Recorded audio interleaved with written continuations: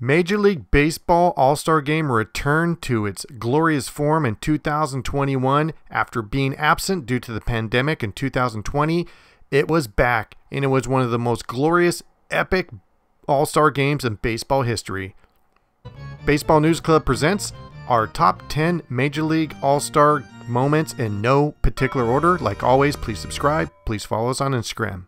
Number 10, Trey Mancini, by far one of the greatest stories in Major League Baseball in 2021. 16 months after being diagnosed with stage 3 colon cancer, he comes in second to Polar Bear for the home run derby. Absolutely epic battle and an incredible comeback story.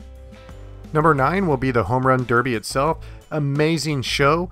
Hometown hero Trevor Story there, Shohei to Juan Soto, to Polar Bear winning his second home run, and then all those 500 foot blasts by Juan Soto and Polar Bear.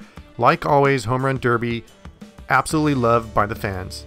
Coming in at number 8, the Tim Anderson snub. Not only was he snubbed in years past for the All Star, he was almost snubbed this time before a player opted out. The 2019 batting champ was not played to bat, but only played to field, thus creating controversy with Tim Anderson against the coach, Kevin Cash. Coming in at number 7, one of the most scary moments in All Star game history, Vladimir Guerrero Jr. almost hitting Max Scherzer in the head with a line drive right up the middle. It actually went within about a foot of his head, and luckily nothing happened, but scary moment at the All Star game for sure. Number 6, Shohei Ohtani's perfect 1 2 3 first inning against some of the best players in Major League Baseball. He got Fernando Tatis Jr. to fly out to the outfield, and then he got Max Muncy for a ground out for the second out, and then hometown favorite Nolan Arenado ground out. Perfect 1 2 3 inning. And Shohei, how can you not love this kid? Coming in at number 5, Jared Walsh sliding catch, perhaps one of the greatest catches in All Star game history. Situation American League up 5 to 2. Bottom 8, 2 outs, 3 0 count. Bases loaded. If this would have got by him, National League would have went up. Jared Walsh, first baseman, game saving catch. Coming in at number four, the Hank Aaron tribute. Hammerin' Hank, one of the greatest and most respected players in Major League Baseball history. MLB honored him with the framed jersey and then a painting showing Aaron's journey when he was younger. What initially turned into a tribute started turning into an uncomfortable moment as they had his wife Billye out there and just had her staring at the picture for it seemed like minutes on minutes, and it looked like MLB was trying to get her to cry. So a good moment kind of turned into an uncomfortable moment.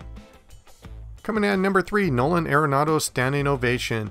Returning home to Colorado, where he played for the majority of his career, the fans gave him a standing ovation, and in fact, there wasn't the only one. Continuously throughout the game, he received ovations from his former loving fans in Colorado.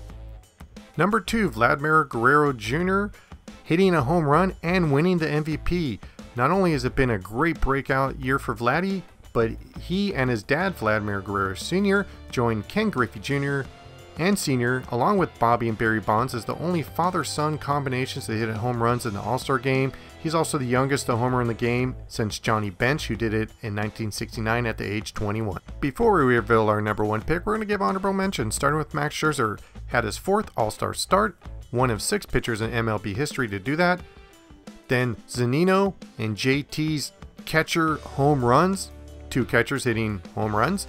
Also, enjoyed having the mic'd up sessions between the umpire and Ozzie Albies. That was a lot of fun.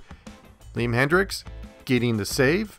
And then slightly something you might have noticed out with the old, in with the new. Shohei, Vladdy, Fernando, Acuna, all the great young talent that's changing the game was well represented.